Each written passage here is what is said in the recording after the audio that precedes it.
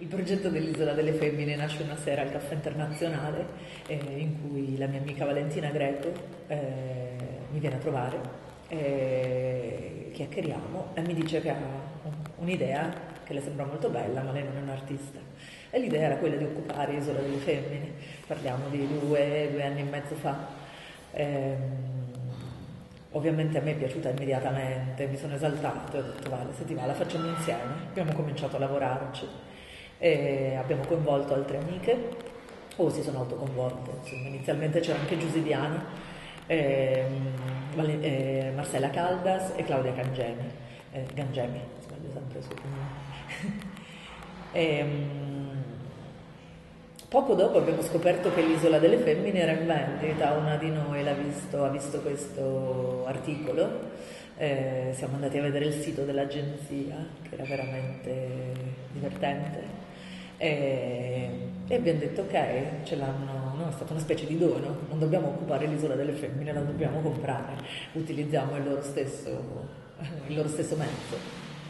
E, e, quindi abbiamo deciso di comprarla, ma ovviamente comprarla eh, per che cosa? Comprarla per, per riflettere, eh, comprarla per fare nascere immaginari. Eh, l'idea di comprarla eh, è venuta immediatamente in modo collettivo, eravamo già 4-5 e il, eh, è stato immediato dividere per quote da 10 euro, quindi siccome nel, nel sito del, eh, dell'agenzia di vendita inizialmente c'era una richiesta di 3 milioni e mezzo di euro, dividendolo per quote da 10 euro abbiamo pensato ok, dobbiamo solo trovare 350 mila donne.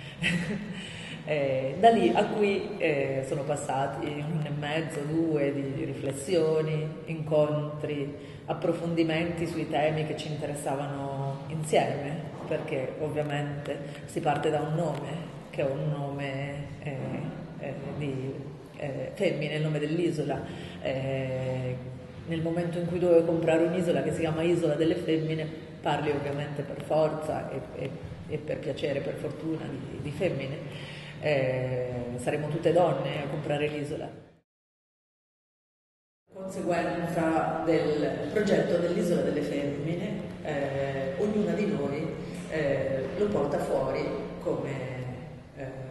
come vuole, con i suoi mezzi, con i suoi contatti, con il suo mondo. E il mio mondo è questo, il mondo dell'arte è, è quello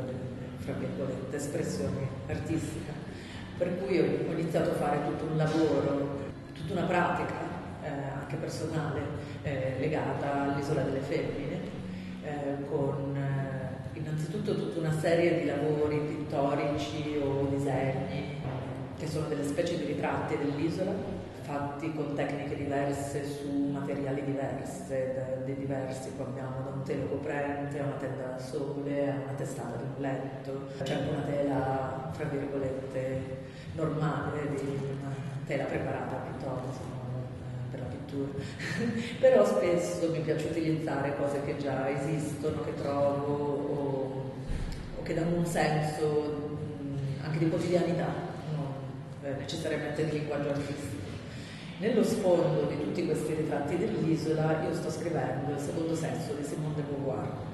che è una sorta di enciclopedia del femminismo eh, e ha già più di 50 anni di vita che io non avevo ancora letto, in realtà non ho ancora finito di leggere perché lo sto leggendo mentre scrivo. E questo diventa anche una sorta di pratica per me, no? è come se, se facessi yoga tutti i giorni, tutti i giorni scrivo un po' di, di Simone de Beauvoir. L'ultimo lavoro che ho fatto mentre installavamo la mostra eh, mentre stavamo per chiudere, io mi ero portata nella borsa il, il libro che sto scrivendo di Simone de Beauvoir perché volevo utilizzarlo in qualche modo all'interno della mostra,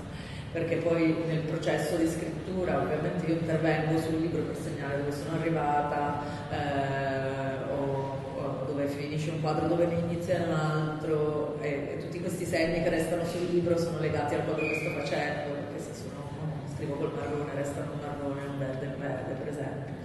eh, per cui sta acquisendo no? una sorta di, di, sostanza legata alla pratica. E, e, un'altra cosa che volevo utilizzare da tantissimo tempo erano le mine di Sant'Agata, L'ultimo intervento che è scaturito in due minuti, che però covava da tanto tempo. Altre due cose in realtà, oltre ai dipinti, uno è un video, eh, ed è un video, una sorta di video pubblicitario sul progetto dell'isola, è legato a un testo eh, che può passare sotto il video oppure, come in questo caso, essere scritto eh, proiettato di fianco al video, eh, che racconta proprio in maniera veramente semplice la base del progetto. E il video invece sono, sono, tutte riprese che ho trovato su YouTube, tutte,